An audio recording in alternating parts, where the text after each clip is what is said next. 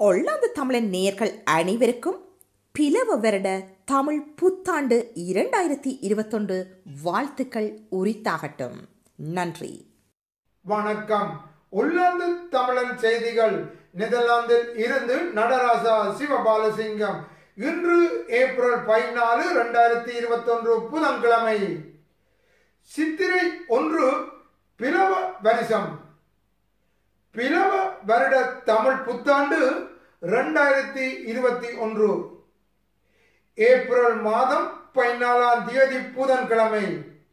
சித்திரை முதலாம் தேதி மங்களகரமான பிரம தமிழ் வருடம் பிறக்கிறது. அறுபது ஆண்டுகளுக்கும் இடைக்காட்டு சித்தர் அந்தந்த ஆண்டுகளுக்கான பலன்களை வெண்பாக பாடி வைத்துள்ளார்.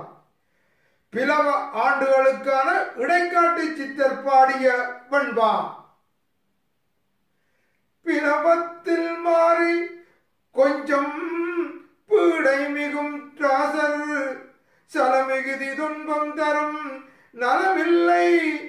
நாடுகாட்சீவன் எல்லாம் நாசமாம் வெள்ளம் பாலும் என்று செய்புவனம் பால் இந்த பாடலுக்கான விளக்கம் பிளவத்தில் மழை அளவு கொஞ்சமாகவே இருக்கும். நாடாளும் அரசர்களுக்கு நோய் உண்டாகும். பருவம் தவறி பெய்யும் மழையால் துன்பம் உண்டாகும். ஆடு மாடுகள் முதலான கால்நடைகள் துயரத்தை அனுபவிக்கும். வேளாண்மை செலுத்தி வரும் வேளையில் இயற்கையால் பாதிப்பு ஏற்படும் என்று பண்பா கூறுகிறது. குரு பிரம்மா குரு விஷ்ணு குரு தேவோ மகேஸ்வரக குரு சாஷா பரபிரம்மா தஸ்மை ஸ்ரீ குருவே நமக. அனைவருக்கும் வணக்கம். பிளவ வருட வாழ்த்துக்கள். வருக வருக புத்தாண்டே. நலங்கள் பெருக பெருகு. பெருக பூங்கரங்களாய் கூப்பி வணங்குகின்றோம். பிறந்து விட்டால் சூரியனாய் பெற்று விட்டோம் இன்பமடை சித்திரை மாதத்தை வசந்த ராகம் என்று கூறுவது போல் எங்களது வாழ்விலும் பூமணம் வீசிடுவாய். வருக வருக பிளவ வருட புத்தாண்டே வாழ்த்துகின்றோம் வணங்குகின்றோம். எல்லோர் மனங்களிலும் இன்பமாய் வாழ லிம்ப முருகன் துணையோடு வாழ்க வாழ்க வாழ்க. வளமுடன். நன்றி வணக்கம். வணக்கம். சித்திரை வருட பிறப்பின் தமிழ் பெயர் மேலம் பிறந்தது பிளவ வருடம். பூத்து விட்டது புது வாழ்வு. குதூகலத்தில் எல்லோரும் இயற்கை வளம் செழித்திட இன்பம் பெருகிட புது பட்டாடை அணிந்திட இறையருள் கிடைத்திட. வாழ்வு பெற்றிட நல்லெண்ணம் நிறைவேற. அன்பு மொழி பெருகிட புன்னகை பூத்திட உற்சாகம் பிறந்திட நல்லாட்சி நிலைத்திட. மருத்துநீர் வைத்து நீராடி பிறவ வருடத்தை கொண்டாடுவோம். நன்றி. புத்தாண்டனும் புதுமகளே வருக. இந்த புவனமெங்கும் புது பொலிவை தருக.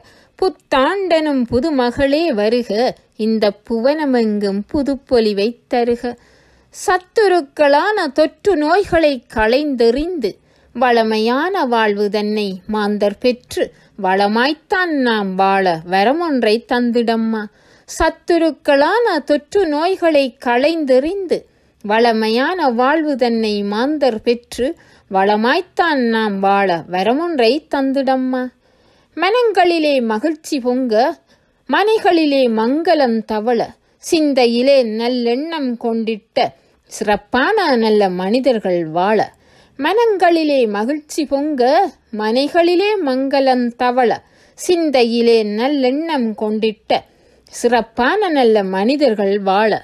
சஞ்சலங்கள் அகன்றொழிந்து மக்களிடையே சகஜமான உறவுமுறை உதித்திடவே. விட்டு போன பள்ளிக்கூட படிப்புகள் ஆரம்பமாகி சிறார்களிடையே சிட்டுக்குருவிகள் ஆட்டம் புத்துணர்வுகள் பொங்கி வழிய. சஞ்சலங்கள் அகன்றொழிந்து மக்களிடையே சகஜமான உறவுமுறை உதித்திடவே. விட்டு போன பள்ளிக்கூட படிப்புகள் ஆரம்பமாகி சிறார்களிடையே சிட்டுக்குருவிகள் ஆட்டம் புத்துணர்வுகள் பொங்கி வழிய. கொரோனாவின் கொட்டமதும் அடங்கி திட்டமிட்ட வர்த்தக முயற்சிகள் மேன்மை அடைய தேவையற்ற பிணிகளும் பீதிகளும் வந்த வழி பார்த்தே சென்றொழிந்திட. கொரோனாவின் கொட்டமதும் அடங்கிட திட்டமிட்ட வர்த்தக முயற்சிகள் மேன்மை அடைய தேவையற்ற பிணிகளும் பீதிகளும் வந்த வழி பார்த்தே சென்றொழிந்திட. நட்புகளிடையே நட்புரிந்துணர்வுகள் செழித்துவிட. தேடல்கள் தொடர்ந்திடும் வண்ணம் நட்புகளிடையே நட்புரிந்துணர்வுகள் செழித்துவிட தேடல்கள் தொடர்ந்திடும் வண்ணம். ஆசையுடன் இந்த புத்தாண்டை நாம் நேசக்கரங்கொண்டு வரவேற்போம். ஆசையுடன் இந்த புத்தாண்டை நாம் நேசக்கரங்கொண்டு வரவேற்போம். நன்றி. அனைவருக்கும் வணக்கம். பிளவ என்னும் பெயர் கொண்ட சித்திரையே இந்து மக்களின் கலை திருநாடே. மண்ணில் வாழும் உயிரினங்கள் அனைத்தையும் வழிநடத்தும் காலம் என்னும் காரிகையே. விதி என்னும் வினப்பெயரென்றும் விவரிக்கப்படும் அனைத்தையும் தாங்கி நிற்கும் இறைவனே. உன் காலத்தை நம் முன்னோர் இந்த ஆண்டை பிளவ என்று அழைத்துள்ளார்கள். காரண பெயராக உள்ள பிளவ என்ற சமஸ்கிருத சொல்லுக்கு தமிழில் நில அறை என்று பொருள்படும். சாஸ்திர வல்லுநர்கள் சொல்லியுள்ளார்கள் அம் அதே போன்று சித்திரை என்று அழைக்கப்படும் மாதம் தமிழில் மேளம் என்றே அகராதியில் அகராதி போன்ற நூல்களில் தமிழ் இலக்கியங்களிலும் எழுதியுள்ளன. சித்திரை மாதம் ஓராம் தேதியே சூரியன் மேச ராசியில் பிரவேசிக்கிறார். சரியாக கிழக்கு திசையில் இருந்தே வலது பக்கமாக தனது பயணத்தை தொடங்குகிறார். அந்த நாளையே இந்து மக்கள் தமது வருஷ பிறப்பாக கொண்டாடுகிறார்கள். இந்துக்களின் இறை நம்பிக்கையை வைத்து சூரியன் மேசத்தில் வரும் நாளையும் வைத்தே அவர்கள் தங்கள் நாட்காட்டிகளையும் பஞ்சாங்கம் போன்ற உன்னத வழிகாட்டிகளையும் அமைத்துள்ளார்கள். இந்து ஞானிகள் தமது இறைபக்தியால் வானில் சூரியன் போன்ற ஒளிக்கிரகங்களையும் அத்துடன் சேர்த்து ஒன்பது கிரகங்கள் உள்ளன என்று அவை பூமியில் நடக்கும் மாற்றங்களை செய்ய வல்லன என்றும் கண்டுபிடித்து கண்டு கண்டுபிடித்தார்கள். ஆகையால் தான் ஒன்பது கிரகங்கள் பன்னெண்டு ராசிகள் என்று எந்தெந்த ராசிக்கு எந்தெந்த கிரகம் என்றும் கணித்துள்ளார்கள். மதங்களிலேயே மனிதன் தோன்றிய போதே இந்து மதம் தோன்றியது உள்ளது என்று மத வல்லுநர்கள் கூறுகிறார்கள்.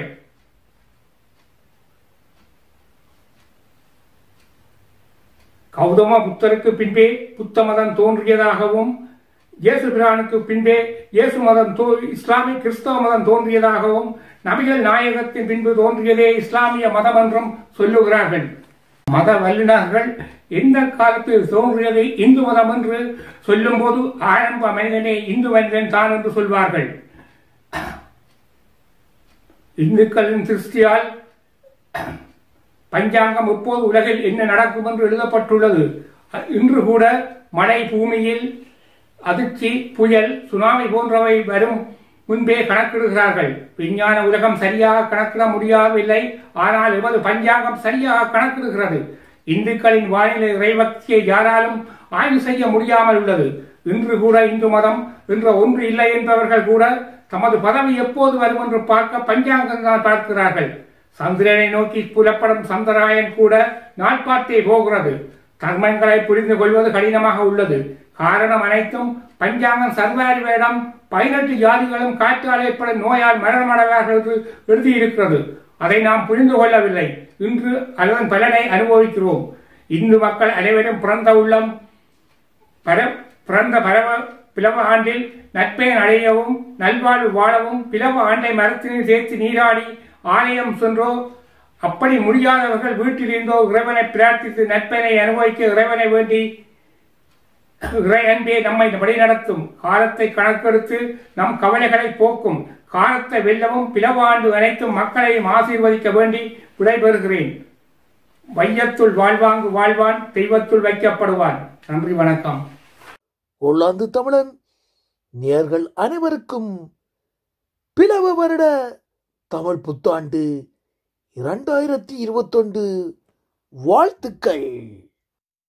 சித்திரையே வருக நித்திரையை களைக வளமையை சலிக்க வறுமையை ஒழிக்க உழவர் மகள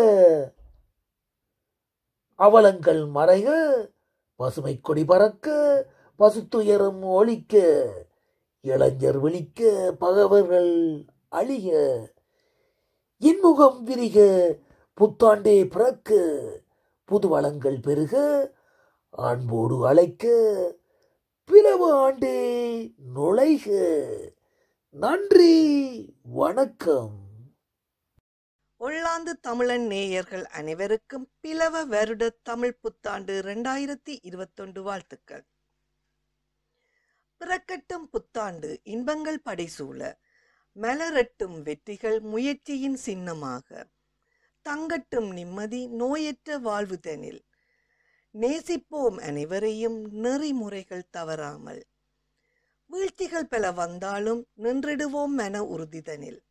எல்லாம் மாயை என்று உணர்ந்தால் இவ்வாண்டு மட்டுமல்ல எவ்வாண்டும் அமைதி நமதே. அன்போடு அரவணைப்போம் அனைவரையும். பாசத்தை போலி இல்லாமல் பகிர்ந்திடுவோம். செய் நன்றியை இறுதி மூச்சு வரை காத்திடுவோம். இவை அனைத்தையும் மனதில் கொண்டு புத்தாண்டை மகிழ்விடம் வரவேற்போம். ஒவ்வொரு நாளும் பெருமை மிக்கது அதிலும் இந்நாள் அருமை மிக்கது. உழைத்தவன் அறிவான் உழைப்பின் அருமை அதுதான் அவன் உயர்வுக்குப் பெருமை. நல்லதை நினைப்போம் உதவிகள் செய்வோம். மானுடம் வாழ மனித நேயம் காப்போம். பொல்லா காலம் போனதென்றே நினைத்து நல்ல காலம் பிறந்ததென்றே வாழ்வோம். முயற்சி விதைகளை தூவி நம்பிக்கை பயிர்களை முளைக்க செய்வோம். நம்பிக்கை வைக்கும் நண்பர்களுக்கு நட்பே துணை. அன்பே கடவுள். புதியதாய் பிறந்த புத்தாண்டு குழந்தையை அன்பாய் வளர்த்து அர்த்தமுள்ளதாக்குவோம். இனிய புத்தாண்டு வாழ்த்துக்கள். நம்முள் உள்ள தீமையை கொன்று புதிதாய் பிறப்போம். என் இனிய புத்தாண்டு நல்வாழ்த்துக்கள். என்றும் என்றென்றும். பிரியதர்ஷினி அம்பலவாணர். வணக்கம். உள்ளாந்து தமிழன் நேயர்கள் அனைவருக்கும் ரெண்டாயிரத்தி இருபத்தி ஒன்று பிளவ வருட தமிழ் புத்தாண்டு வாழ்த்துக்கள். உலகம் முழுக்க புத்தாண்டு என்பது இந்த வசந்த காலத்தில் தான் கொண்டாடப்பட்டது. ஐரோப்பாவில் கூட ஏப்ரலில் தான் புத்தாண்டு இருந்தது. பின் ஜனவரிக்கு மாற்றி விட்டார்கள் பாரத கண்டத்தின் தென்பகுதி கலாச்சாரத்தின்படி சித்திரை முதலாம் தேதியே புத்தாண்டாயிற்று. இது தமிழருக்கு மட்டுமல்ல தெலுங்கு மலையாளம் என் சிங்களவருக்கும் கூட அதுதான் புத்தாண்டு. தமிழனை பிராமணர்கள் குழப்பினார்கள் என்றால் சிங்களவனை குழப்பியது யார்? இது இந்து தமிழர்கள் வானவியலை கசடர கற்றிருந்தனர். இது இந்துக்களான தமிழர் வானியல் அறிவிப்படி கடவுள் முதல் கன்றிக்குட்டி வரை ஜாதகம் உண்டு பூமிக்கும் அது உண்டு. அதன்படி முதல் ராசியான மேச ராசியில் சூரியன் நுழையும் நாள் புத்தாண்டு என அறிவிக்கப்பட்டது. இது இந்துக்களின் மாதமெல்லாம் பௌர்ணமி அன்று என்ன நட்சத்திரம் வருமோ அதை குறித்தே அமைந்திருக்கும். சித்திரா பௌர்ணமி முதல் பங்குனி உத்திரம் வரை தமிழ் மாதங்களின் பெயர் நட்சத்திரம் அடிப்படையில் அமைந்திருந்தது. இப்படித்தான் பன்னெண்டு ராசிக்கும் பன்னெண்டு மாதங்கள் என சொல்லி பன்னெண்டு பௌர்ணமிக்கும் பன்னெண்டு நட்சத்திரங்களை கொடுத்து வைத்திருந்தது இந்து மதம். முதல் ராசி மேசம் என யார் சொன்னார்கள்? ஆதாரம் உண்டா என்றால் உண்டு. சொன்னது அகத்திய மாமுனி. அவர்தான் தன் பன்னிராயிரம் நூலில் பங்குனி கடை மாதம் சித்திரை முதல் மாதம் என அன்றே எழுதி வைத்தார். சங்க இலக்கியங்களின் பதினெண் மேல் கணக்கு நூல்களின் பத்து பாட்டில் ஒன்றான நெடு நெல்வாடையின் வரிகள் நூற்றி அறுபது நூற்றி அறுபத்தொன்று இப்படி சொல்லுகின்றன. தின் நிலை மதிப்பின் ஆடு தலை ஆக வின் ஊர்ப்பு திரிதரும் வீங்கு செலல் மண்டிலத்து. அதாவது திண்ணிய நிலையினையும் கொம்பினையும் உடைய மேட ராசியினை முதலாக கொண்டு ஏனைய ராசிகளில் சென்று திரியும் சூரியன் என பொருள் மேச ராசியை முதலாவதாக கொண்டுதான் இங்கு ஆண்டு கணக்கு அன்று தொடங்கப்பட்டது. இது இந்துக்களின் வழக்கமாக இருந்தது. இந்துக்களின் ஒரு பிரிவான தமிழருக்கும் அது புத்தாண்டாயிற்று. புற நானூறு சிலப்பதிகாரம் மணிமேகலை போன்ற தமிழ் இலக்கிய நூல்களிலும் இதை உறுதி செய்யும் வரிகள் உண்டு. பங்குனியின் இறுதி நாட்களில் அல்லது சித்திரை முதல் நாளில் தான் வழக்கமாக வேங்கை மரம் பூக்கும். இதை சங்க இலக்கியமான மலைப்படு கடாமம் தெளிவாக சொல்லுகின்றது. தலை நாள் பூத்த பொன் இணர்வங்கை என்கின்றது. சீவக சிந்தாமணி கோடை கால தொடக்கமே முதல் பருவம் என தெளிவாய் சொல்லுகின்றது. சிலப்பதிகாரத்தில் ஏர் மங்களம் என ஒரு பாடலே உண்டு. அதில் சித்திர மேளி வைபவம் என ஒரு விழா நடப்பதே தமிழரின் பருவகால தொடக்கம் அது என சொல்லுகின்றது. அதாவது சித்திரை மாதத்தில் அரசன் ஏர் ஓட்டி வருடத்தை தொடங்கி வைப்பார் என்கின்றது அந்த வரி. முன்பு இந்துவாக இருந்து பின் பௌத்த மதம் தழுவினாலும் இந்துக்களின் புத்தாண்டான தமிழ் புத்தாண்டிலேயே சிங்கள புத்தாண்டு வருவது இன்னொரு பெரும் சான்று. காலம் கடந்து நிற்கும் சான்று. மாயான் கலண்டரில் ஆண்டுக்கு பெயர் உண்டா? இல்லை. இந்த ரோமன் நாட்காட்டியில் தான் ஆண்டுக்கு பெயர் உண்டா எந்த இனத்திலும் அன்று அப்படி இல்லை. வருடம் என்பது ஒரு சுழற்சி. அதற்கு பெயரிடும் அவசியம் அன்று இல்லை. ஆனால் இந்துக்களின் பெரும் வானியல் அறிவு ஒரு உண்மையினை சொன்னது அது கோள்களின் சஞ்சாரம். பூமி சூரியனை ஒரு வருடத்தில் சுற்றி பழைய இடத்துக்கு வந்து விடுகின்றது. ஆனால் மற்ற கோள்கள் அப்படி அல்ல செவ்வாய் சூரியனை சுற்ற மூன்று வருடமும் வியாழன் சூரியனை சுற்ற பன்னிரண்டு வருடமும் சனி சூரியனை சுற்ற முப்பது வருடமும் எடுப்பதை இந்து மதம் அடைந்தது ஆம் இன்றைய விஞ்ஞானம் இப்பொழுது உறுதிப்படுத்தியதை அன்றே சொன்ன மதம் இந்து மதம். அம்மதம் மிக சரியாக அறுபது வருடங்களுக்கு ஒருமுறை கோள்கள் அவை தொடங்கிய இடத்தில் சரியாக அமர்கின்றன என்பதை உணர்ந்தது. அதாவது சுற்றி கொண்டே இருக்கும் கிரகங்கள் அறுபது ஆண்டுகளுக்கு ஒரு முறை சரியான கோணத்துக்கு வருகின்றன. அதன் பின் அவை மாறிவிடுகின்றன. அறுபது வருடத்தில் அந்த கோணம் மறுபடி அமைகின்றது. இதனால் பூமி சூரியனை சுற்ற ஒரு வருடம் என்பதை தாண்டி அது மற்ற கோள்களுடன் சரியாக பொருந்திய இடம் வர அறுபது ஆண்டுகள் ஆகும் என்பதை உணர்ந்து அதை குறிக்க அறுபது வருடத்தை சொன்னது. இந்த பூமி அறுபது வருட சுழற்சியில் எங்கெல்லாம் நிற்குமோ எந்த புள்ளிக்கெல்லாம் செல்லுமோ அதை குறிக்கத்தான் அறுபது பெயரை இட்டார்கள்.